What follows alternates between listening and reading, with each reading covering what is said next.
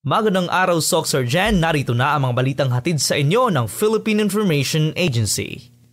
Sa Cotabato Province, 29 na mga dating rebelde ang nakakuha ng mahigit kumulang 34 na milyong piso o 34 million pesos worth of livelihood assistance at firearm remuneration sa katatapos lang na pagpupulong ng Provincial Peace and Order Council.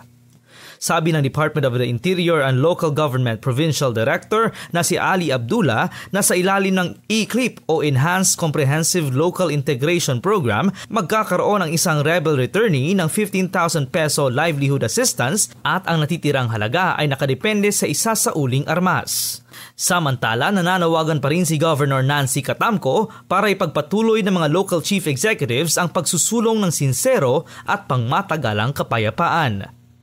Sa General Santos City naman, ipinahayag ni City Councilor Shandy Lido Pistanyo, chairperson ng Committee on Climate Change Adaptation and Environment, ang kanyang pagsuporta kaugnay sa pagsusulong ng pangangalaga sa kalikasan nitong Miyerkules sa isinagawang Sarangani Bay Protected Seascape o SBPS Enforcement Summit. Uh, we are just but stewards in this, uh, of course, taking care of our environment. I am very aware that uh, kami in General Santos City or even in your own municipality, uh, we cannot do this alone.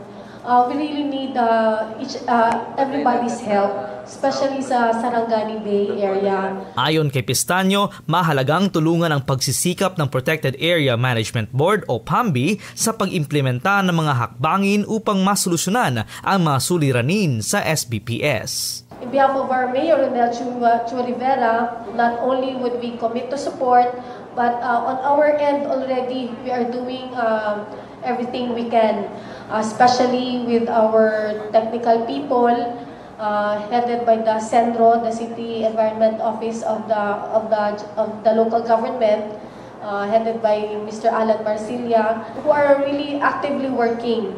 And uh, on my end, as the legislative partner, I will also give my commitment uh, so, to support in whatever uh, legislation I can uh, offer para sa para sa katuparan nito ating mga plano. At para sa ating update kaugnay ng Coronavirus Disease 2019, nananatiling COVID-19 free pa rin ang Jansan at ang buong Soxargen region ayon sa March 4 Situational Report na inilabas ng Department of Health Center for Health Development 12.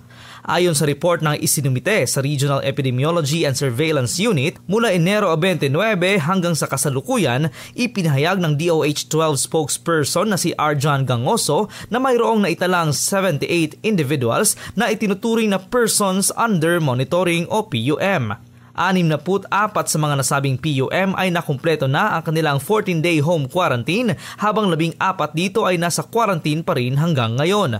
Base sa nasabing bilang, 8 PUM ang nasa South Cotabato, 4 sa Sultan Kudarat, isa sa North Cotabato at isa rin sa Sarangani Province.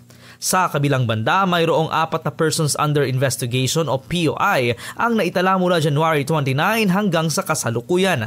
Lahat ng nasabing POI ay negatibo sa COVID-19 ayon sa resulta mula sa Research Institute for Tropical Medicine o RITM.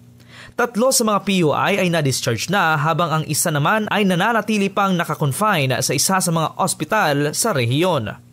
Pinapaalalahanan pa rin ng DOH-CHD SOC Surgeon ang publiko na panatilihin ang regular na paghuhugas ng kamay, pag-iwas sa matataong lugar at kumain ng masustansyang pagkain gaya ng prutas at gulay upang makaiwas sa anumang sakit. At yan ang mga balitang nakalap ng inyong Philippine Information Agency sa Rangani General Santos. Ako si Harlem Jude Ferolino, nag-uulat.